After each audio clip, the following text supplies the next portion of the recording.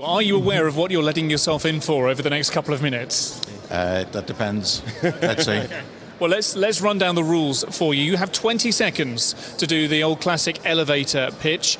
You look straight down that camera lens there, and I will time you. And trust me, when 20 seconds are up, your elevator pitch is definitely open. I have to tell you, he takes this very seriously. He's the nasty one. I'm the nice one. I give you. He has a, he has a stopwatch and everything. I, I do. I he has everything. He has everything. Very technical. Um, and also, uh, what was I going to say? Um, the last two, I have to say, were very good. So the, the pressure is really on.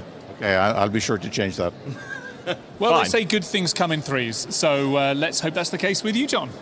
Right then, should we uh, should we do this? Why not? Yeah. Okay. All right then. So I'm going to start uh, on the count of three, and then you are ready to go. So, one, two, three.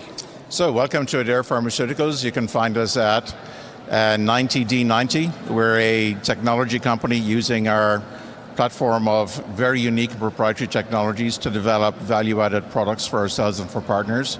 You can currently find more than 40 of our products in over 100 countries worldwide, distributed by more than 50 customers, and we would love to add you to our list. I'm afraid your time is up, but that was pretty good time. That was pretty good. I thought it was excellent. I thought you five seconds.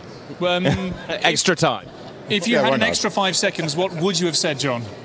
that we are a one of the top-rated drug delivery companies in the world, and we would be happy to do business with you. Well, there you are. Thank you very much indeed. I think you were pretty good, Is actually. that good? Did that make a number three out of three?